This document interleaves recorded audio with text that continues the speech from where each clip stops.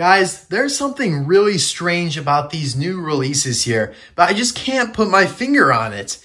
I feel like we've gotten them before. Like I'm feeling some deja vu here, but I know, like I know they're different and new, but there's something about them. It's just not right.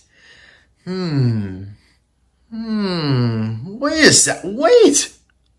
We have gotten them before, but they are slightly different. They're all variants. Oh my goodness, guys mind revelation right there. But anyways, welcome back to another Disney docket presentation. So these are four new quote unquote new releases, but not really because they are all variants. Now Trainer Cruz is a little bit different because she's actually a new variant. We've never gotten her with that headpiece before, but I mean, it's hardly visible, especially, you know, this angle that they have her in the packaging. But the rest of them, they all have been released before, but each of them, they're actually very different Thailand and also some executive changes from Mattel to close Kris Revstopski's bed, which is accurate to the movie and make Terry Kargas, the accurate model. Some good things here, some good changes. Same with Ramone. His color is now more accurate to the movie, but it is essentially China versus Thailand. So we're going to open all these up and review them in this video. I'm not going to make it like a half an hour video.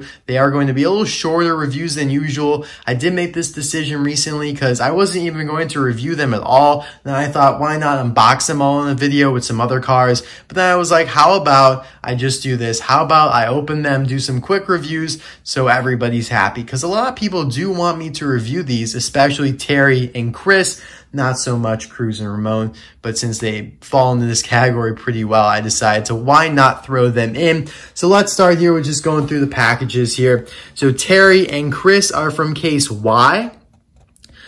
That also included Randy Lawson and Shiny Wax Tractor. So I love the artwork that they give him. Of course, he is in the Piston Cup Racers series that also includes Speedy Comet, Floyd Mulvihill, Punchy Wipeout, and Darren Leadfoot, all of which have been previously released. There's a picture of McQueen, Bobby, and Cal. Rookies and racing legends alike compete to win the coveted Piston Cup. Excellent. So in my opinion, this is the best one out of these four here. Although I do love Ramone's brand new, just vibrant yellow. It looks phenomenal. We have his classic artwork that they used all the way back in the day. Back in 2007, they used this artwork. So it's so nostalgic to you know, see it back and it feels great. So I'm really happy about that. He, of course, obviously has to be in the Radiator Spring series. There's a nice little group shot of them all, and there's Hydraulic Ramone instead, though. The kind folks in Radiator Springs become Lightning McQueen's friends for life. And there you have Antonio Veloce Excelente, Nick Stickers, Sheriff, and Mater. Again, all four of them have already been released. I mean, you could tell instantly in the artwork here that this yellow is more accurate than that yellow, which is essentially just gold. Now he's in, I think, case I don't know, T or V or something. I think it's V. But I found actually quite a few of that case in the store, but I only found two of him. And so I bought the only two I did find. Now here's trainer Cruz Ramirez, who's in 2020 case A for singles along with Metallic Cal Weathers. Like I said, this one is a little different than the others because she actually has never been released before, whereas the others have. There's a nice little picture of her with the headset there, along with Rust-eze McQueen, Rust-eze Racing Center McQueen, who we've already seen. This is the Rust-eze Racing Center series. There's Sterling with Rusty and Dusty. The new Rust-eze Racing Center features the latest in racer technology, or racer training technology. So yeah, I didn't think she warranted her own review because literally it's just an added plastic piece. And now she's also in case B and C for 2020, so she will not be hard to find at all.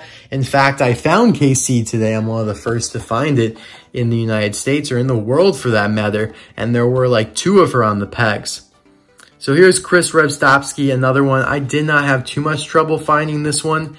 I think I found, I found two of Terry Kargas and three of Kris two of Ramone, and so far I found quite a few of Trainer Cruz because I was recently in San Diego and there was a little chain of toy stores called Geppetto's and almost every one of those had Case A of 2020. So here's Kris, of course. She is the flag waver in the Florida 500 series and for all the races for that matter. It's the opening race of the Piston Cup season. Who will take home the championship?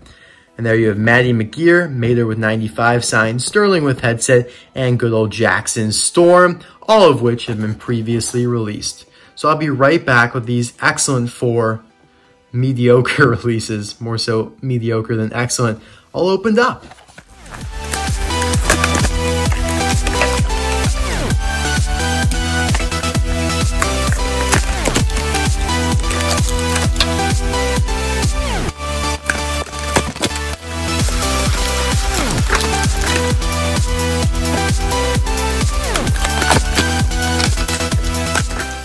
Now, the reason I'm recording this video right now before I head back to Notre Dame, literally I head back tonight, is because I want to have a clean slate for when I come back from spring break or whatever it is, whenever next I come back, just kind of starting off 2020 fresh here. So that also would mean opening these five bad boys here that have been looming over my head for months now. I've gone, you know, these XRS racers, they're hard to review. Not many people are interested in them. Like when I do my videos on them, they don't get that many views. So, you know, I'm just going to open them now. And I don't really review every single car that comes out, so I don't feel bad about not reviewing these. But if there is some heavy, heavy duty demand for them in the future, I will review them. I did already take Jackson Storm out of the package one time, so I could include him in the video for a comparison but I have not touched him here, and neither have I touched Brick Yardley.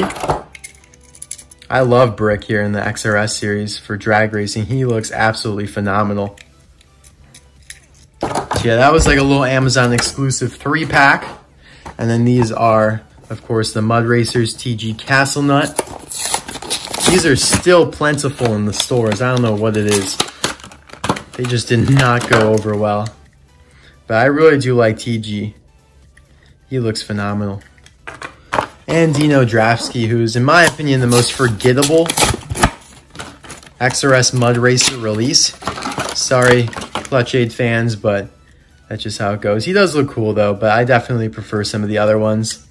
So yeah, that is all I have to unbox pretty much, except for Road Trip Manor, but he's in a deep depth of forgotten cars. Alright, so here are the four main cars for this video all opened up. Looking fantastic. Really the paint right now from Thailand is popping off to me. It is so glossy. So let's dive in right here. We're to start with, let's start with Trainer Cruz because she is boring as heck. I'm sorry, Trainer Cruz, but literally you just have a little added headset. Nobody really cares. So here it is, just a little plastic piece that, of course, she had in the training center. She didn't even have it on the entire time. It was a really brief scene, in my opinion. But yeah, I mean, it's a nice release. It's just kind of one of those, okay, necessary releases that Mattel, you know, they're bound to do it. They're inevitably going to make releases like this. And Sterling with headset and, you know, Determined McQueen, just releases like that that nobody wants, nobody needs, but will buy them because they're cars. But yeah, this is kind of how it goes. Her tires are also a little bit different, or the rims, I should say, which is nice. You know, at least they changed a few things, but that may just because this is a Chinese Cruz and now she's from Thailand. I think this is, yeah, there's no Thailand Cruz like this, like a regular Cruz. There's obviously Thailand Rust-eze and Dinoco Cruz, but not just a regular Cruz.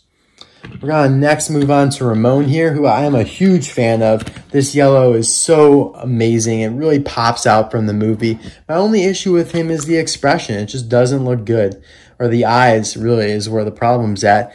The eyelid there just looks so grainy and his eyes look so robotic. I mean, they're I mean, they look robotic on the Chinese release, but at least the eyelid looks good. Here, it just does not. He's got his typical little smile there. Both of them have the paint gun, which looks to be pretty much the same. Obviously, the decals are also the same, but they look much better on that bright yellow. They pop off much better. Purple with those little green stems coming off there. And then this purple flame.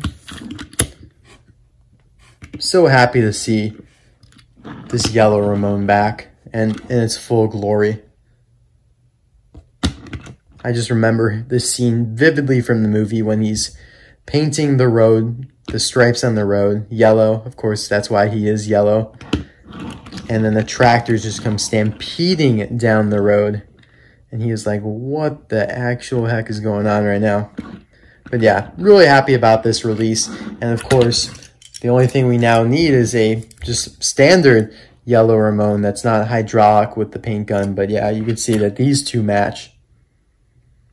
But it's funny because usually when they convert over to hydraulic, the paint changes drastically. It happened with Purple Ramone, and of course, even more so with Lightning Ramone, where he went from orange metallic to just kind of like a flat red paint. But that's not what happened with the Yellow Ramone, that's for sure. All right, moving on now to Kris Revstopski. So she might have experienced the most differences out of all of these here. Just because she's a completely new model now, whereas Ramone and Cruz weren't. She's now much thinner. The bed is sealed, which is accurate to the movie, which I really like. We don't see many trucks with sealed beds in the universe, the Cars universe, so it's great to see this one here because it's just realistic. I mean, it looks professional that she has a sealed bed there instead of being open, especially, you know, for her line of work. The expression looks mm, okay, not as good as the China one with her mouth wide open, but I really do like this Thailand release. Of course, she has a green flag. I love that in the package it already came sealed and stuck on there that you can't move it, whereas these flags you always had to move and you can take them out, I guess, but they're really a pain to get back in there. And it's also inaccurate for her to have the flags on the side view mirrors to have them here on the side is much, much better. Although theoretically, I think they should be on the tire because that's where she can actually move. She can't move her fender.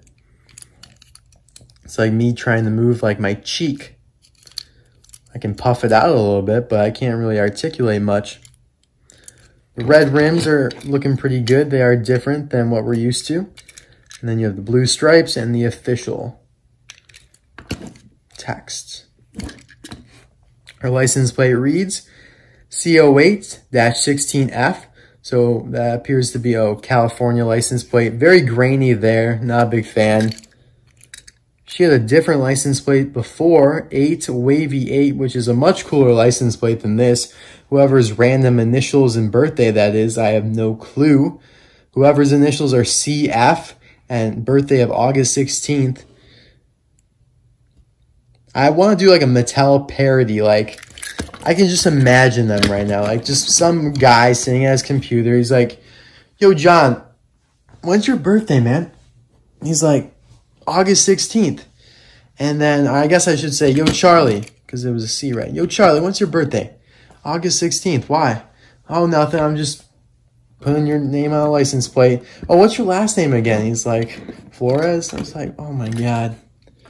It's probably honestly what they do. Anyways, here is Terry Kargas, the Cars 3 Triple Dent Racer. I put my original reviews to Kris. I don't know, did I review Kris? No, I didn't. I reviewed Terry, though. I'll put his link in the description below. I reviewed him just about two years ago, a little bit over that now, too. So his expression is pretty much the same, but it does look much better on now his accurate model of Terry Kargas or Brick Yardley model versus the Cal Weathers style model that they incorrectly put him at before. Although Thailand does kind of mess up the eyes again They're Not a huge fan of how they look. Or the eyelids, I should say. But the mouth looks better than that. Other than that, though, everything's very much the same in terms of the decals. Fenders look a little more protruding because of the new model. I don't believe there are any other differences. The rims are both gray. They're a little darker gray now. The blue's a little bit more vibrant instead of being washed out. So overall, this is a phenomenal improvement. Oh yeah, look at that green though those leaves above the fender there are so faded, whereas they're nice and fresh there on the Chinese version, and yet the blue is much more glossy and vibrant from Thailand, so typical, typical, typical. Spare mint flavored dent filter, so it's kind of like gum. And here's a huge difference though. Instead of this being just blue back here, it's like the turquoise, which looks actually really cool. I would assume this is accurate to the movie because, you know, if they're changing the model, they're probably going to make sure that the paint job's correct as well. So I like that. Really nice changes here all across the board. Although Thailand does falter with the decals a little bit and the eyelids, but that's what we have come to expect now. So now it's time to give out the grades. I won't give grades on everything like with the Vinyl Toupe Custom. I'm obviously not going to give a grade for that just because it's a custom and I'm not going to try and grade somebody's work, but I will grade a company's work. So starting over here on the left with Trainer Cruz, she's going to get a C minus just because of how boring she is. Nothing really against her, nothing she could really improve upon. The expression actually looks good for Thailand, but still she gets a C minus. Ramone's gonna get a B because I like his color and all that, but the expression and the Thailand-esque-ness of it I'm not a fan of. Kris Revstopski's gonna get a B plus because I like all the changes they made with the flag, of course, being green now, narrowing her model and closing the bed. All fantastic changes. And FYI, they are going to make a white flag version of Chris Revstopsky this year. So I guess that's another awesome variant we'll be able to buy. And Terry Kargas is also going to get a B plus for the changes they made to his model and the paint job, but they falter a little bit with the expression there. And the leaves, like I pointed out, they just don't look as good. Even on the hood there, you can see that they are essentially faded out as if the sun had been beating down on it for 10 years now. But the Chinese version looks pretty fresh. So thank you guys very much for watching this video. Let me know out of these four, which is your favorite. Like I said, mine's probably Terry Kargas, just because I love piston cup racers. But yeah, thanks again. I will see you guys soon for another video. Bye now.